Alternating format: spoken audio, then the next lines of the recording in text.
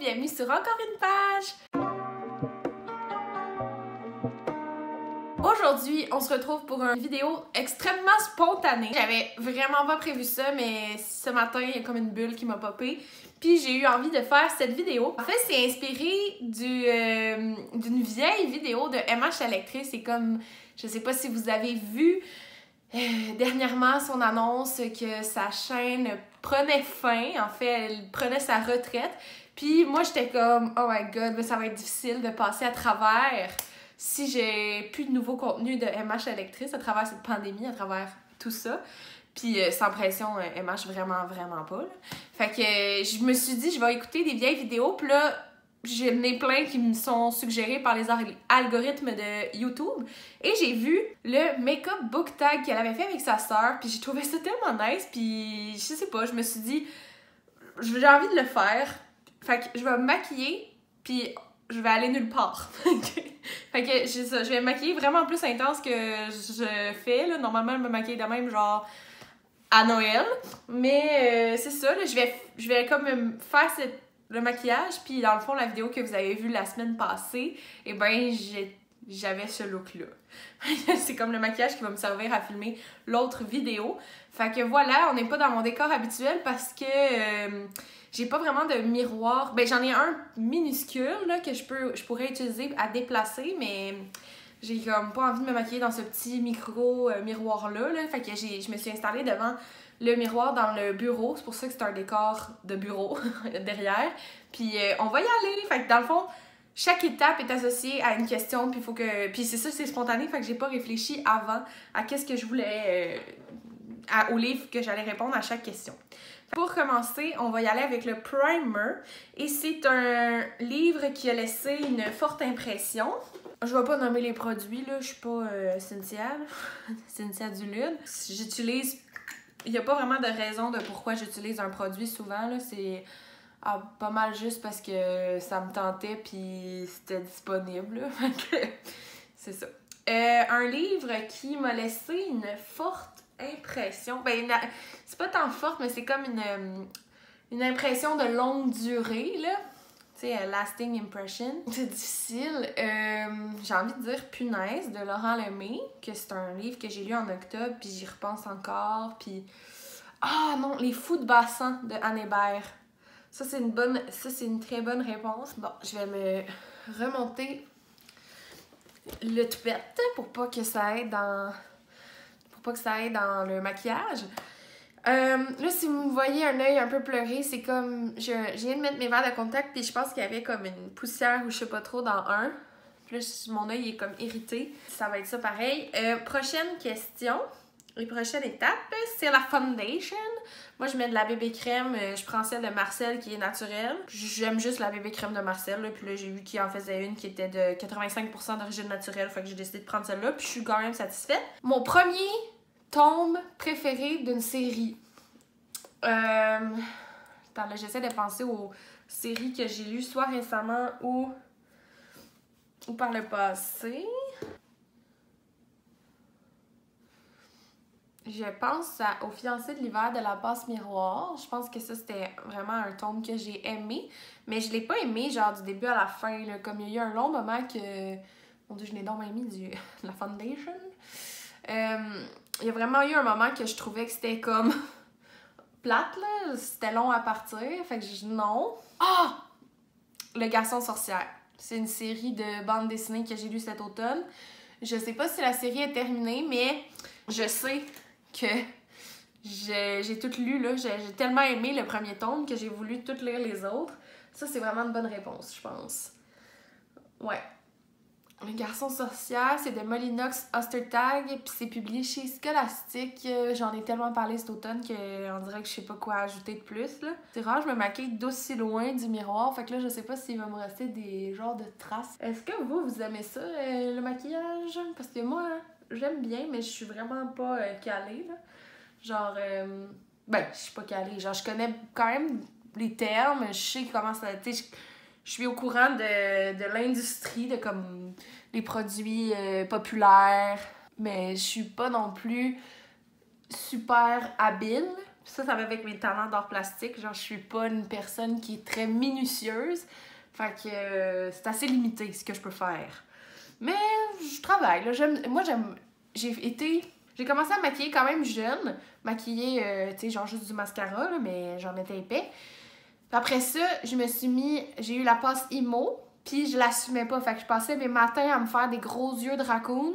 Puis là, genre, trois minutes avant d'aller prendre l'autobus, j'enlevais tout. Parce que j'étais comme gênée. Fait que j'arrivais, puis j'avais juste genre les yeux smudgés, c'était dégueulasse. puis après ça, ben, j'ai, me suis. Tu sais, j'ai, eu longtemps le cataille, là, ça, j'ai porté ça, je pense, trois ans d'affilée à tous les jours. Puis. Euh, par la suite, ben, ben là, j'ai, au cégep, j'avais comme arrêté de me maquiller parce que c'était comme pas cool. Les filles qui se maquillaient, c'était superficiel, fait que je voulais pas être mise dans cette catégorie-là. Puis je me suis rendu compte que comme j'aime juste ça, me maquiller. Genre, tu sais, je, je, ressens pas le besoin de le faire, mais je trouve ça, c'est comme un beau moment que je passe avec moi-même. Ça me déstresse. J'aime, j'aime ça, genre l'action de me flatter des affaires d'en face. Fait que, en tout cas, je, me remaquille parce que je, c'est une activité que j'aime bien. Euh, je pense pas, je le fais sans pression, puis euh, tu sais, j'aime l'effet que ça fait au final. C'est ça, je me maquille pas de façon très intense là, comme, je fais aujourd'hui, genre je fais jamais ça. C'est ça je dis. Là. Moi, c'est comme cache-cerne, mascara, highlight. C'est pas mal ça, mon maquillage euh, de tous les jours. On va mettre le cache-cerne maintenant. A character you wish you could rid of. Fait que un personnage que j'aimerais me débarrasser. Et boy, ça commence à être euh, pas mal au fond du rouleau, ça, mon concealer. Mais l'affaire, c'est que c'est la section fermée à pharmacie. Euh, un personnage dont j'aimerais me débarrasser. Ah, je vais dire euh, Renaud dans Petit Manuel des Amours Toxiques. J'aimerais bien euh, qu'il n'existe plus et que les personnes de ce genre n'existent plus non plus. Je pense qu'on serait tous plus heureux s'il euh, n'y avait pas de, des abuseurs dans la vie des manipulateurs. Ça irait vraiment mieux. Hier, je me suis fait une exfoliation. Fait que là, ça fait ressortir des petits boutons. Fait que là, j'ai comme plein de petits trucs à cacher. Là, je sais pas pourquoi, c'est tout du même côté. Pourtant, je dors ah oui, c'est ça, c'est le côté que je dors. Fait Maintenant, la powder. Favorite last book in a series. La dernier euh, tombe préféré dans une série. Qu'est-ce que ça pourrait être? Est-ce qu'il y a des séries que j'ai terminées récemment? J'ai pas, euh, j'ai pas fini ben ben grand chose. Ok, c'est un souvenir quand même assez flou. Faut que je me ferme les yeux là, parce que là, avec mon verre de contact qui fait mal, euh, on va me donner une petite chance. Ouh! Pas ses poils. C'est une série que j'ai finie, genre, ça fait plus que 10 ans. Mais il me semble que j'étais vraiment satisfaite de la conclusion, que ça m'avait vraiment. Comme dans ma tête, ça permettait de fermer vraiment la saga. Puis je dirais que c'est le dernier tome des quatre filles et un jeans. Mais hum, je dois dire que je les ai pas relus depuis comme 2008. Fait que peut-être que je me trompe. Mais en tout cas, moi, je suis en paix avec cette série-là. J'ai pas envie de la relire. On dirait qu'on a fait le tour, que tout est bien fermé. Je sais qu'il y a un nouveau tome, là, Quatre filles pour toujours, quelque chose de même. Je parle pas de celui-là. Moi, je parle du troisième été, que j'ai trouvé qu'il était assez satisfaisant. Bon, mes cernes sont pas si bien cachées ici, là, mais on va faire avec ce qu'on a parce que je veux pas jouer trop après mon œil, là. Euh, je veux que ça reste... Euh, je veux lui donner une petite chance, là, le pauvre. Je trouve ça bizarre parce que les autres, elle fait les yeux. Tu sais, elle finit pas le teint dans son make-up. Elle finit pas le teint, mais elle passe aux yeux, puis après ça, elle met le blush puis le highlight. Elle a pas de bronzer, mais j'en ai pas amené, là. Pas nécessaire. Les sourcils. Un livre que tout le monde devrait lire. Puis comme dit MH, parce que tout le monde devrait avoir des sourcils. Euh... Un livre que tout le monde devrait lire j'ai envie de dire corps à corps de la corpse féministe, qui est comme un guide de, sexualité positive, parce que je pense que ça répondrait à bien des questions euh, déplacées que les gens peuvent se poser. Moi, j'ai quand même déjà des sourcils, euh, ben pas fournis, mais sont, sont bien garnis. Là, j'ai pas grand chose à faire normalement dans mes sourcils. Je vais juste les remplir un petit peu, puis euh, c'est tout. Ensuite, mon eyeshadow, a, a book with your favorite colors on the. J'ai pas de couleur préférée. En ce moment, je tripe bien sur. euh, ben, je tripe, là. J'ai- comme une passe rouge, là. Effectivement, j'ai une passe rouge, mais j'ai comme un, un moment dans ma vie où j'aime beaucoup le rouge.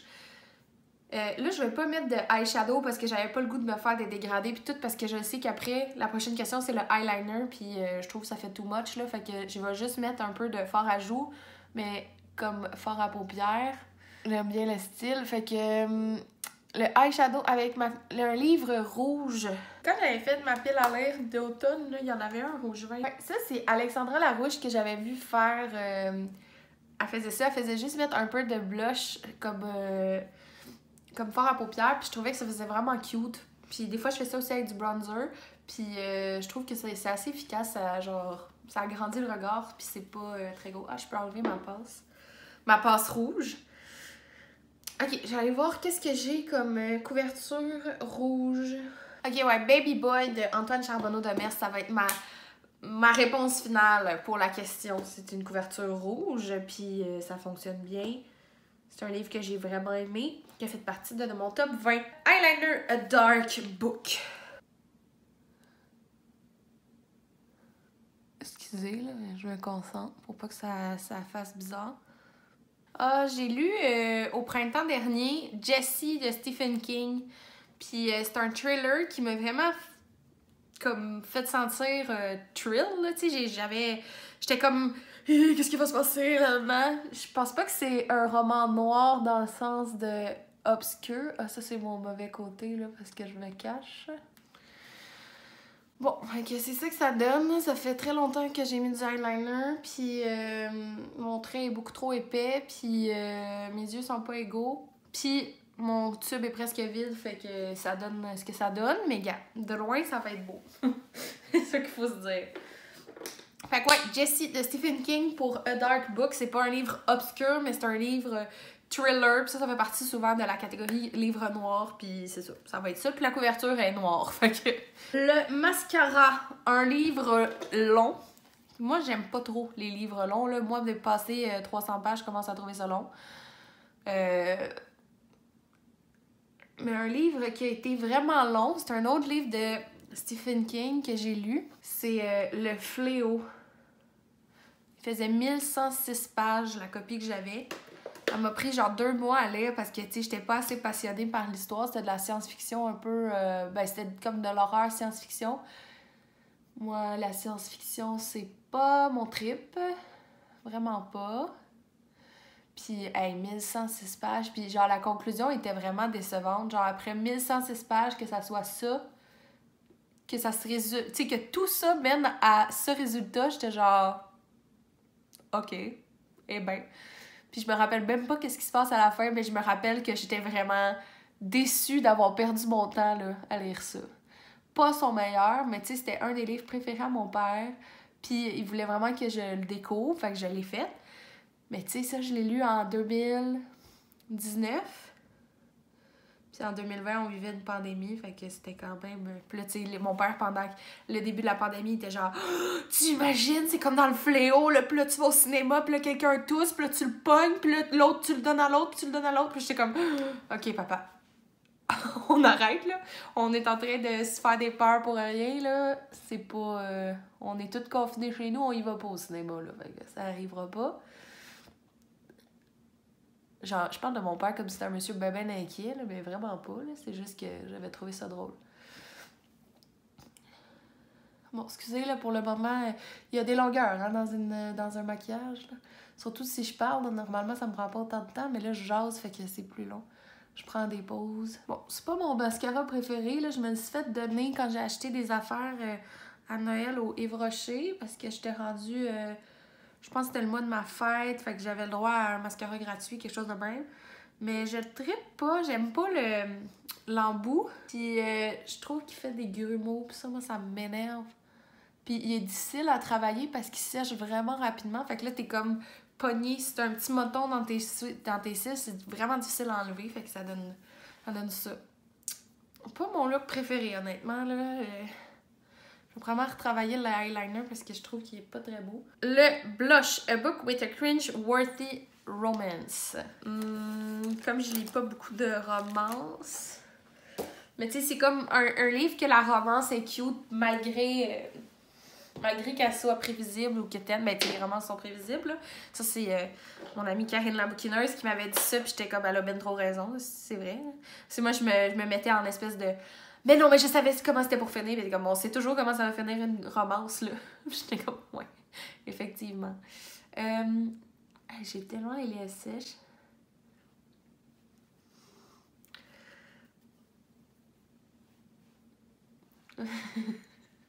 Mon blush est tellement intense. Et si bol. Fanfreluche! Euh, ouais, fait que c'est quoi un cringe-worthy romance? Cringe-worthy romance! J'ai envie de dire euh, Flocon d'amour, la romance euh, au début là, de June et le dude, là, je me rappelle pas c'est quoi son nom. C'était quand même cute, là. Genre, ça m'a fait oublier le fait que June était vraiment un personnage exécrable. Genre, c'était cute, là. Ça, ça fait de la job, là. Je, l'ai toléré, malgré ça, le fait qu'au début, j'étais pas capable. Mais le John Green, pas tout, tout ça, non, c'est pas une romance cringe-worthy. Puis la suite, ben, c'est un slow burn, là, genre, c'est est en rupture, puis finalement, c'est ça, là, ça, ça c'est juste la fin qui est comme la romance, là, dans le fond, là. Fait que, c'est ça. Ah, mon dieu, je m'en allais passer au highlight sans dire euh, c'était quoi le, la prochaine question. Highlight, a book that brightened your day. Je vais dire euh, les petites choses dans ma roi, il me je réponds souvent à ça quand c'est euh, question d'un un livre feel good, mais attends, je vais essayer de penser à quelque chose de plus original que j'ai jamais dit, mettons, ou que j'ai rarement euh, dit. Je viens de me rappeler la question du personnage que j'aimerais me débarrasser, là, euh, Concealer. Je vais répondre finalement Torn dans La passe miroir. Parce que ben, je suis rendue au tome 4, là. J'ai lu le tome 3, mais Torn, Torn, Torn, là il est fatigant. Genre, je l'aime pas. Je sais pas si je veux, mon opinion va changer dans le tome 4, là, probablement, mais. Euh, il m'énerve. Il y a quelqu'un qui se laisse désirer de même puis qui a rien de mieux à offrir, là, je trouve que ça. C'est comme. C'est poche. Mais là, j'étais en train de penser à un roman qui m'a qui a illuminé ma journée. Ah, La femme qui fuit de Anaïs Barbeau-Lavalette. Je pense que, ouais, j'ai vraiment eu ce petit sentiment-là de réconfort. Puis. Euh, J'en ai pas beaucoup parlé depuis le vlog que j'avais fait à ce sujet-là. Et finalement, le lipstick Your Favorite Book Kiss. euh...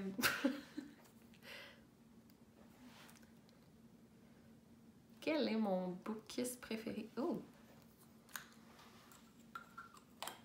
Bon, je vais corriger mon eyeliner pendant que je réfléchis à ça.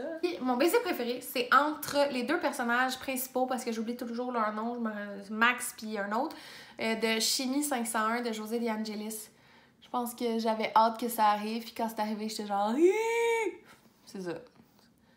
Comme merci, yes, ça fait du bien. Eh mon dieu, qu'est-ce que je suis en train de faire là, moi là, là? Tout en train de massacrer. J'avais une petite affaire qui monte des airs puis ça m'énerve.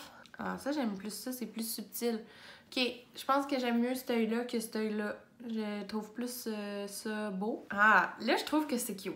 Hein, me semble? J'ai un peu allongé, puis j'ai rapetissé sur les paupières. Je trouve que ça fait plus beau sur mes yeux. On dirait vraiment qu'il manque comme le, le, bronzer, là. Fait que je vais aller, euh, je vais aller le chercher, je reviens. Bon. Fait que pour le bronzer, je vais prendre... Euh, la suggestion de la sœur de Emma, je pense que son nom c'est Amélie, qui était un livre qu'on a lu en vacances. Un livre que j'ai lu en vacances. Ben moi, petite anecdote, quand on était plus jeune, ben j'avais j'ai eu la chance de voyager avec mes parents.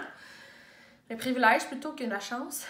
Puis euh, ma mère, elle nous amenait au dans une librairie de livres usagés, puis c'était un organisme à but non lucratif qui euh, remet des fonds. Ben, dans le fond, ils vendent des livres usagés, mais c'est aussi un endroit où euh, un centre d'alphabétisation pour les personnes euh, qui savent pas lire et écrire, les adultes, puis parfois aussi les nouveaux arrivants.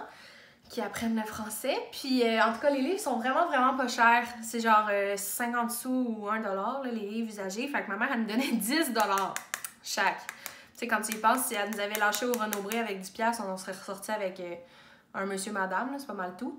Mais là, tu sais, avec 10 pièces, on ressortait souvent avec comme 10 livres. Puis je remplissais ma valise avec ces 10 livres-là. Tu sais, j'étais pas si jeune, là. Genre, je lisais quand même, tu sais, des... C'était comme à l'époque où je lisais beaucoup des... Euh, les... Tu sais, la courte échelle, mais c'est genre l'édition pour ados, là.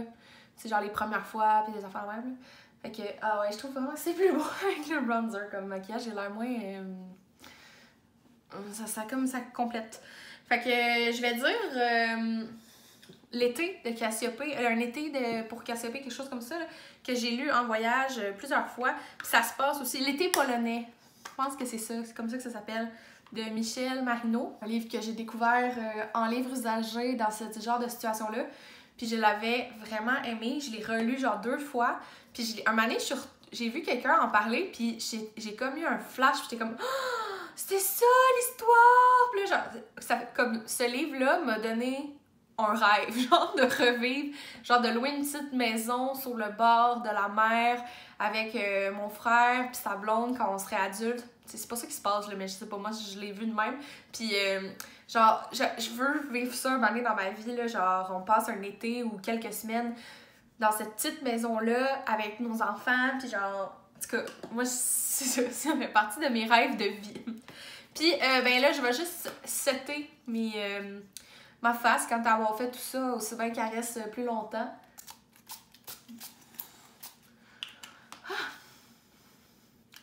Un, un, livre euh, qui est pour le, le setting spray. Comment il y avait ça? Vaporisateur de finition. Ça, ça va être mon ajout au tag. Un livre dont la frame m'a bouleversée. Qu'est-ce que ça pourrait être? J'ai encore envie de parler des mêmes livres. Ben, j'ai pas dit Petit Manuel des amours toxiques, j'ai juste ça en tête. Puis c'est juste de Véronique Papineau. Puis comme j'ai changé mon personnage que j'aimais pas, ben ça va être ça. Ok, c'est déjà tout pour aujourd'hui. J'espère que vous avez apprécié cette vidéo assez relax, spontanée et avec beaucoup de E. Ce décor-là ne reviendra pas si jamais ça vous a écœuré de voir euh, des chaises de bureau. Ben, euh, désolé. Puis nous, on va se revoir dans une prochaine vidéo. Si vous avez aimé ma vidéo, n'hésitez pas à la liker et à la commenter. Sur ce, je vous souhaite du succès dans vos projets et dans votre vie et on se revoit très bientôt. Bye!